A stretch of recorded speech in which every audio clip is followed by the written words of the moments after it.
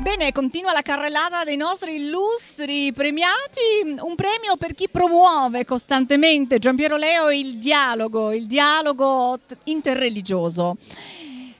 Non è semplice, abbiamo sentito dalle sue parole che sono momenti a volte da superare non semplicissimi. Lei però è impegnato in prima linea. Che cosa la spinge? Quali sono le motivazioni che la portano con determinazione a portare avanti questo prezioso contributo per la società? Grazie intanto per questa meravigliosa iniziativa di bene e che fa tanto bene all'opinione pubblica e a tutti noi. Mi spinge, a parte gli ideali che ovviamente e veramente ci sono, la consapevolezza che o c'è il dialogo fra le comunità e le religioni sono un interprete robusta di molte comunità o c'è la guerra e l'odio. Non c'è una terza via, per cui il dialogo è obbligatorio ma anche benvenuto, è anche auspicabile e noi lavoriamo per un dialogo intelligente. Mi spiego, il nostro impegno si svolge su un piano sociale vero e proprio, cioè aiuti concreti, ricostruzione di villaggi, derrati alimentari, medicine, sempre in maniera rigorosamente pluralista. Secondo un lavoro di confronto teologico, terzo un lavoro di educazione all'accoglienza ma anche alla legalità, per dirli in altri termini, a incontrarsi e confrontarsi fra le varie culture, cioè agli amici e fratelli, ai fratelli e alle sorelle delle altre religioni, noi offriamo rispetto, passione, ma chiediamo di accettare le regole del viver comune dell'Italia, in altri termini la legalità. Un percorso quindi non semplice dall'una e dall'altra parte, ma indispensabile. Però devo dire che in Piemonte, dove questo funziona ormai da tre anni, i risultati sono addirittura superiori alle aspettative. C'è entusiasmo, costruzione, passione, accoglienza, non parliamo neanche più di integrazione, ma di scambio reciproco, di interazione. Giampiero Leo, questo dialogo che lei ha bene avviato potrebbe eh, continuare cavalcando la predisposizione alle donne eh, ad essere primi, ad avere la lungimiranza, la visione. Primavera Araba è nata grazie alle donne. Ecco, questo dialogo potrebbe continuare proprio veicolato attraverso le donne?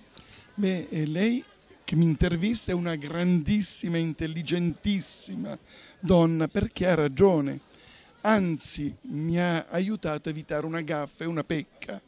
Le principali alfiere, le punte di diamante di questo dialogo, le più coraggiose, sono le donne, che siano donne iraniane, donne algerine, donne egiziane, donne orientali, sono le donne. Da una parte perché comprendono meglio l'amore per la vita, ma dall'altra perché in quei paesi obiettivamente subiscono terribili discriminazioni. Quindi le sentinelle della libertà e le più desiderose di un cambiamento in senso di giustizia sono le donne. Le ha detto molto bene, le donne hanno difeso la rivoluzione in Tunisia, si sono opposte ai passi indietro in Egitto. Quindi le donne, le donne sono le principali resistenti in Iran contro il regime fondamentalista. Quindi è indispensabile e devo dire che anche fra gli immigrati sovente, lasciamo anche uno spazietto agli uomini, dico sovente per non dire sempre, ma sicuramente sovente le più pronte, le più coraggiose sono le giovani donne. Io le chiedo di chiudere con un augurio alla prossima edizione del premio Vis Juridica.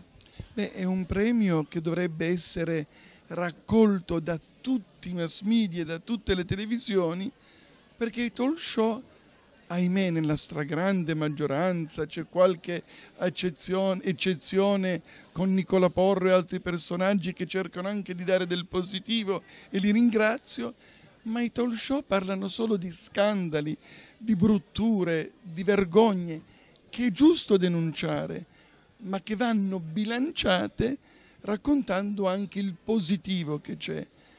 Per mia anche esperienza personale, sono stato chiamato diverse volte da grandi emittenti nazionali, anche da bravissimi giornalisti, ma volevano che si parlasse delle parti negative, scabrose. Quando si chiedeva di raccontare di esperienze positive, ci dicevano queste non interessano.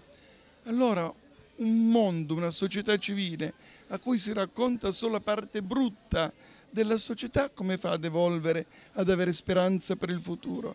Quindi a voi dieci volte grazie e l'auspicio è che capiscano i grandi mass media come è importante per il bene comune un premio come questo.